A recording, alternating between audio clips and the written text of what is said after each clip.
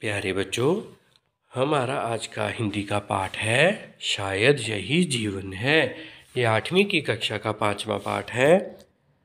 इसमें हमारे पास सबसे पहले है शब्दार्थ, असमंजस, कुछ ना सूझना समयाभाव समय का अभाव या कमी, नीड़, घोंसला, निहारना, प्यार से देखना, निश्चिंत बिना किसी चिंता के बेफिक्र, अचेत, मूर्छित, बेसुध, होश न होना। अवलंब, सहारा, आशंकित, शंका होना। अंतरंग बातें, पक्षी जगत का अंदरूनी व्यवहार। अब हमारे पास कुछ प्रश्न उत्तर हैं। लेखिका ने आँगन में क्या देखा है? लेखिका ने बैंगन के पौधे के बीच में एक घोंसला देखा और उस घोंसले में लाल रंग के छोटे छोटे चार अंडे थे। चिड़िया का रंग रूप कैसा था? चिड़िया छोटी सी चंचल, जैतूनी हरी, जिसके नीचे के अंग सफ़ेद, जंग जैसे रंग की शिखा, दुम पे दो सुई की तरह नुकील, नुकीले पर ये तड़कर खड़े रहते थे। चिड़िया के कितने बच्चे थे? चिड़िया के चार बच्चे थे। बच्चे भोजन की मांग किस प्रकार करते हैं? बच्चे अपनी खुली चोंच बार बार ऊपर की ओर उठाकर भोजन की मांग करते हैं। घोंसला नीचे मिट्टी में कैसे गिर गया? घोंसला जिन दो पत्तियों के बीच बना था, उनमें से एक पत्ते के टूट जाने के कारण घोंसला नीचे मिट्टी में गिर गया। लेखिका ने घोंसले को ऊपर की टहनी पर बांधने का निश्चय क्यों किया? लेखिका को डर था कि वह कहीं बिल्ली हमला न कर दे। इसलिए लेखिका ने घोंसले को ऊपर की टहनी पर बांधने का निश्चय किया। बच्चे अपनी माँ से संपर्क कैसे स्थापित करते थे? बच्चे घोंसले से मुँह बाहर निकालकर चींची करके माँ से संपर्क स्थापित करते थे। तीन बच्चे मुक्त हो गए थे, परंतु चौथा बच्चा क्यों नहीं मुक्त हो पाया?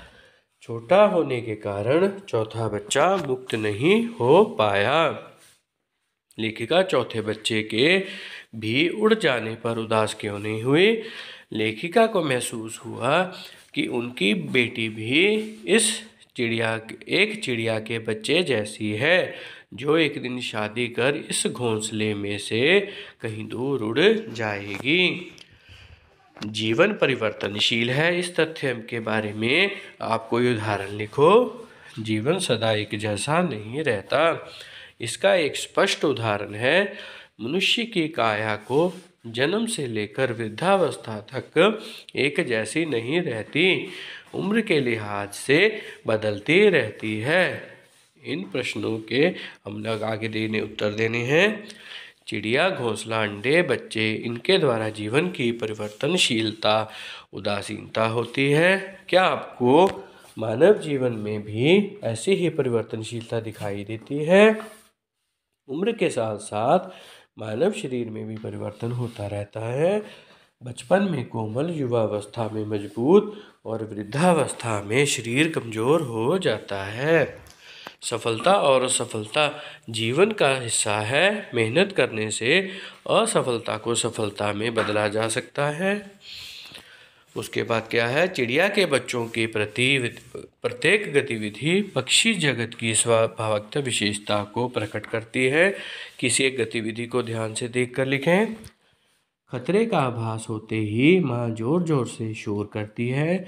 बच्चे घोंसले से मुँह बाहर निकाल कर चींची कर माँ से संपर्क स्थापित करते हैं। चिड़िया किसी को सामने पाकर सीधा बैठने की बजाय अन्य शाखाओं से होते हुए घोंसले तक पहुँचती है। यह गतिविधि पक्षी जगत की स्वाभाविक विशेषता को प्रकट करती है। अब हमारे पास क्या है? हम लोगों ने संज्ञा शब्दों के लिए सही विशेषण चुनना है। हरे भरे पेड़। नोकीले पर गोल डिब्बे। पतली रस्सी, चंचल चिड़िया। ऊँची डाली रंग बिरंगे फूल। उसके बाद हमारे पास क्या है? विशेषण। अनुमान, अनुमानित, परिचय, परिचित, स्थापना, स्थापित, सुरक्षा, सुरक्षित, आकांक्षा, आकांक्षित केंद्र, केंद्रीय, विपरीत शब्द लिखेंगे, परिचित, अपरिचित, आगमन, निर्गमन, दर्शक, श्रोता, मुक्त, गुलाम, निर्माण, नाश धूप, छाया, उपलब्ध, अनुपलब्ध, अचेत, सुचेत, बंधन, मुक्त। इसी के साथ हमारा ये पाठ भी पूरा होता है। आशा करता हूँ कि आपको ये पाठ अच्छे से समझ में आया होगा। धन्यवाद।